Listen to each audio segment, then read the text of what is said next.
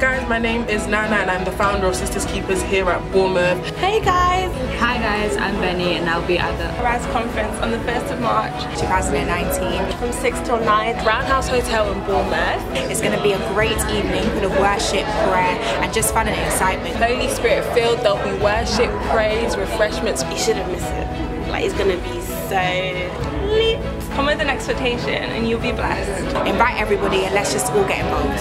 It's going to be a night to remember. Make sure you tell a friend to tell a friend and see you there. Can't wait to see you there. I can't wait to see you guys.